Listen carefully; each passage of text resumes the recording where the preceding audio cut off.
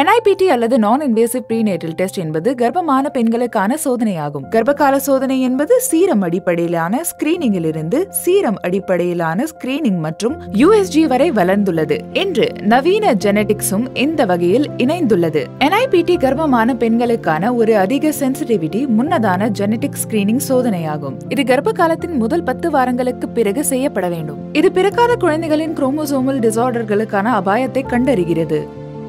நான் இன்வேசிவாக இருப்பதில் தாயின் வீனஸ் ரத்தத்தில் இருந்து ஆங்ஸைட்டி ஃப்ரீ சாம்பிளிங் சோதனைக்கு எடுக்கப்படுகிறது என்ஐபிடி நேரடியாக குழந்தையின் டிஎன்ஏவை சோதிக்கிறது. ஆகவே இது மிகவும் துல்லியமானதாகும்.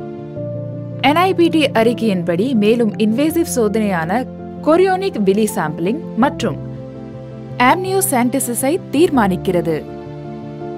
என்ஐபிடி ஜீனோமிக்ஸ் துறையில் உலகில் ஆதிக்கம் செலுத்தி வரும் தொழில்நுட்பமான அடுத்த தலைமுறை சீக்வென்சிங் அல்லது என்ஜிஎஸ் பயன்படுத்துகிறது. என்ஜிஎஸ் தொழில்நுட்பத்தை டைரக்ட் அல்லது மொத்த ஜீனோம் எக்ஸோம் ஸ்டடிக்கு பயன்படுத்த முடியும்.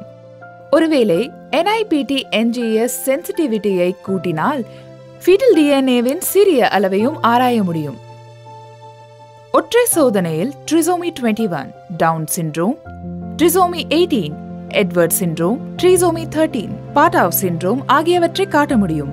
என்ஐபிடி என்ற ஸ்கிரீனிங் சோதனை டபுள் மற்றும் ட்ரிபிள் மார்க்குகள் சீரம் அடிப்படையிலான சோதனை ஆகியவற்றை விட சக்தி வாய்ந்ததாகும். என்ஐபிடியின் அங்கமாக நாங்கள் பாலின அடையாளம் செய்வதில்லை. இதனை இந்திய அரசு சட்டவிரோதம் என்று அறிவித்துள்ளது.